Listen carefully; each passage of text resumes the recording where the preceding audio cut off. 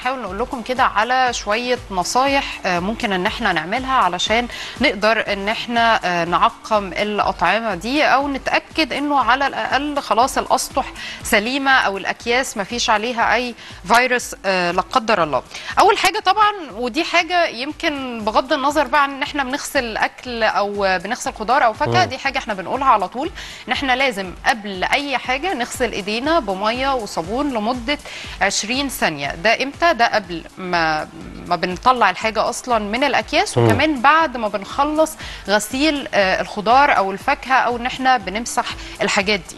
دي أول نصيحة. بالظبط كده. بصوا بقى إحنا إيه يعني أنا عارف إن إحنا الفترة دي مركزين جدا على النصايح ونستحمل بعض معلش عشان نعدي لبر الأمان. أهم حاجة وأنت نازل من البيت كده ورايح ومهيأ إن أنت خلاص قررت إن أنت قبل الحظر رايح تشتري بعض المشتريات للمنزل عندك لازم في إجراءات وقائيه تعملها. دي لابد منها. وهو كمان أكدها. قال إيه؟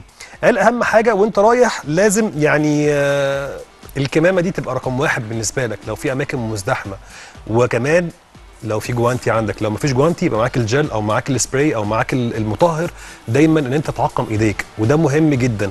ومش معنى إن إحنا رحنا اشترينا حاجات خلاص يبقى كده الموضوع واقف لحد هنا. لأ. سيادتك هتاخد الكمامة دي وهتشيلها تحطها في كيس هي والجوانتي وخلصنا ونقفل عليها ونرميها في مكان بعيد عن الحاجات اللي إحنا ممكن نتناولها أو قريبة مننا. basket مقفول. بالظبط basket كده. متغطي يعني. وطبعا أنا حاجة من عندي زيادة يعني أول ما نخش باب الشقة نقلع ال- الحذاء ونعقم نفسنا وزي الفل. آه، وربنا آه، يعديها. فاروق يا جماعة آه. ماشي بي مش بيمسك حل في ايديه اهو أهو على جسمه. أهو أهو يا جماعة أهو. ماشي بيه على طول أهو. بص مش عيب. وأنت ماشي كده. آه والله بجد. مش عايزة شوية؟ أهو. طبيعي جدا لأن إحنا الأيام دي أهم حاجة الوقاية لينا كلنا دي أهم حاجة. وطالما أنا بقول حاجة لازم أكون أنا مقتنع بيها عشان خاطر برضو ال- السلامة لينا كلنا بإذن الله.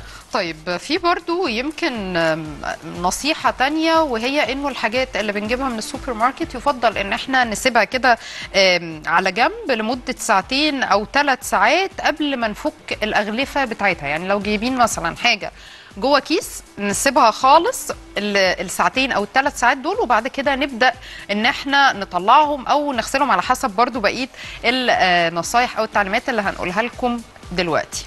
مظبوط جدا. طيب أهم حاجة نغطي زي ما قلنا الفم وال- والإيدين وكمان أثناء العطس طبعا مهم جدا يكون معاك منديل. يعني هرجع أقول أكتر حاجة بقى يعني أنا مش حابب أقولها بس هقولها دي عشان أصعب الظروف. لو إحنا معناش منديل أو حاجة ممكن نعطس فيها كده. ما تعطسش في وش حد. اوعى أو جنبك أو كده. هيبقى برضه الفيروس ممكن ينتقل ويقع في الأرض أو على حاجة تانية حد ممكن آه، يعني لا قدر الله يتعدي. أضعف الإيمان. لو معكش حاجة كده.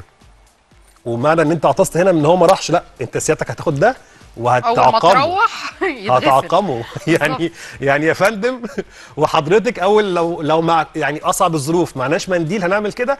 والحاجة اللي إحنا عطسنا فيها دي لا حد يلمسك ولا أنت تلمس نفسك وتروح تحطها تعقمها وتغسلها طبعا مع الحاجات ال- التانية اللي هي برضو نفس ال- القريبة أو الشبيهة ليها لكن مش مع اللبس التاني.